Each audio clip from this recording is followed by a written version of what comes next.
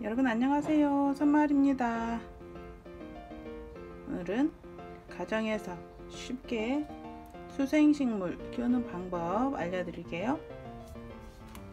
요거는 물상추라고 하는데요. 물 배추라고 해가지고 제가 사왔는데 알고 보니까 배추가 아니고 상추랍니다. 신기하죠 여러분? 처음 보시는 분도 많죠? 자 여기 보시면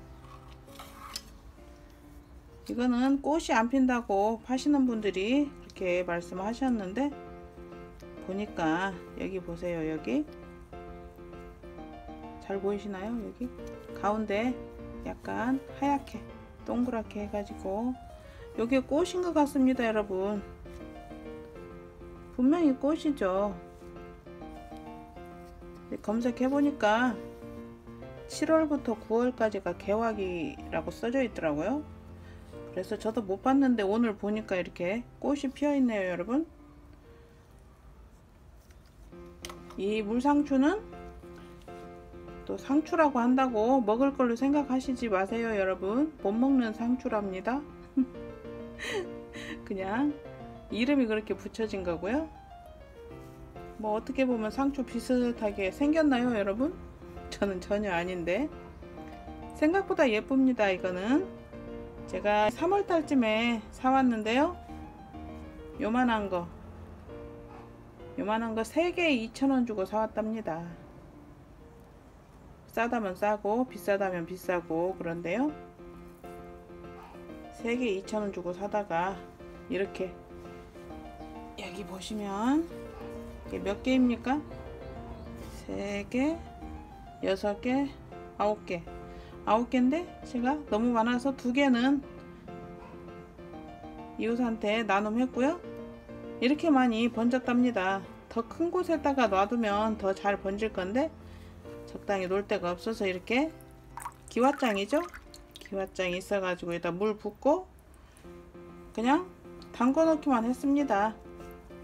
그런데 지가 알아서 이렇게 새끼를 치고 자 이런 식으로 여기 줄기 보이시죠 이렇게 해서 새끼를 친답니다.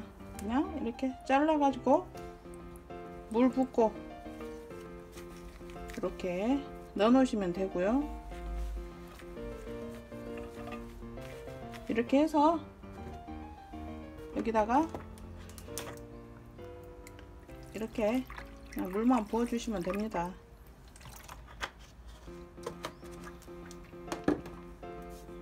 제가 이 물상추 키우는 장소는 햇빛 한 1시간 정도 드는 장소이고요. 가급적이면 햇빛을 많이 받으면 좋습니다. 그러면 번식도 잘하고 그러기 때문에 햇빛이 잘 들면 좋겠죠? 또 햇빛이 들지 않으면 그래도 최대한 밝은 곳에다 두셔야 되겠죠? 자 여기 보시면 우와 이거 보세요 여러분. 뿌리가 와. 지금 이게 뭔지 모르시겠죠 여러분? 제가 작년에 작년 봄에 불의 옥잠을 키웠습니다.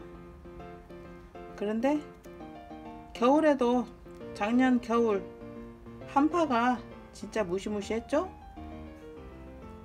그냥 밖에다 놔뒀습니다 그랬더니 이렇게 자선만 남겨놓고 불의 옥잠은 죽었답니다. 아주 작았는데 이렇게 많이 컸네요.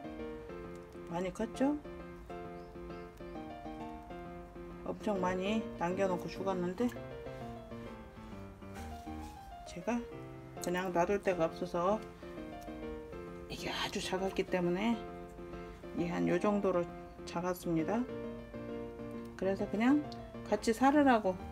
그때는 이것도 아주 작았었다고 제가 말씀드렸죠.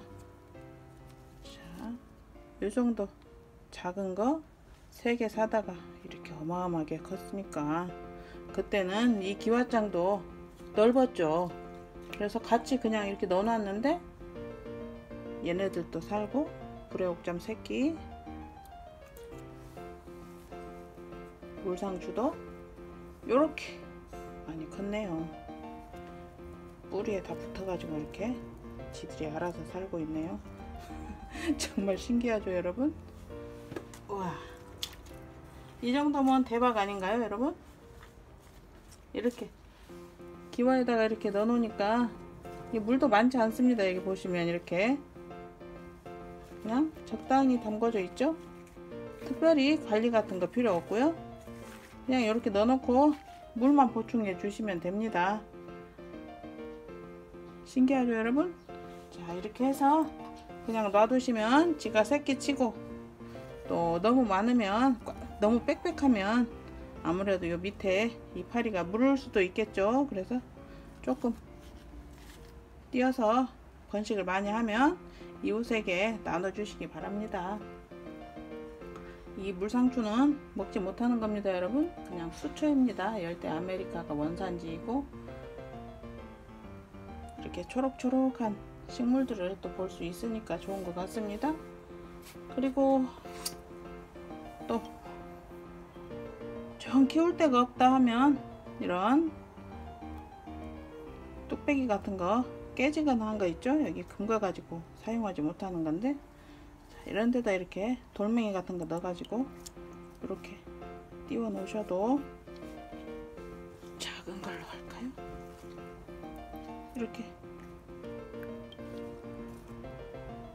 이렇게 해 놓으셔도 정말 예쁘죠 여기다가 금붕어 작은 거 한 두 마리 정도 넣어 놔도 정말 예쁠 것 같습니다 이렇게 한번 물상추 여러분도 키워보시고 힐링하시기 바랍니다.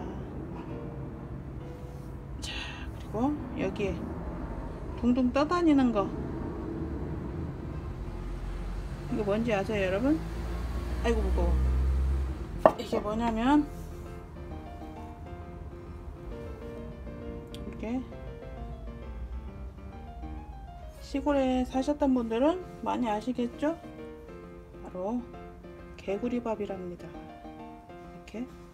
근데 신기한 게, 자, 잘 안 보이시나요? 손에다 해야 되겠네요. 손에다 하면 안 보이네요. 여기에 뿌리가 혹시 보이시나요? 여기 제 손끝이 뿌리 끝인데, 와, 신기하게, 아유, 어디로 가겠지? 이 개구리 밥도 저는 그냥 떠다니는 줄 알았는데 얘도 수초네요. 뿌리가 달려 있습니다 여러분. 이렇게. 여기서 엄청 많이 번식을 했는데 시골에서 이제 모내기 하고 모짜리 같은 거 할 때 물 받아 놓으면 논에 이게 많이 있죠 개구리밥 이게 글쎄 뿌리가 이렇게 있답니다 아이고, 뿌리 보이시나요? 이게 뿌리가 있는 거 오늘 처음 알았네요. 뿌리가 있으니까 얘네들도 양분을 흡수해서 살아가는 거군요. 정말 신기하죠? 이거 수초 같은 거 사면 따라옵니다. 개구리밥은 자동으로 붙어서 따로 사는 거 아니고 자 이렇게 해서 여러분도 이 물상추 한번 키워보세요. 이 이게 약간의 털이 있고 부드럽습니다. 그리고 이거는 월동을 하지 못하기 때문에 겨울에는 밖에서 키우시면 안 되고 베란다 같은데 좀 따뜻한 데서 키우셔야 되겠죠 그렇게 하면 또 내년에도 살고 계속 번식하고 어마어마하게 번식이 되는 그런 수초이니까 꼭 한번 키워보시기 바랍니다 항상 행복하시고요. 구독 좋아요 부탁드립니다. 감사합니다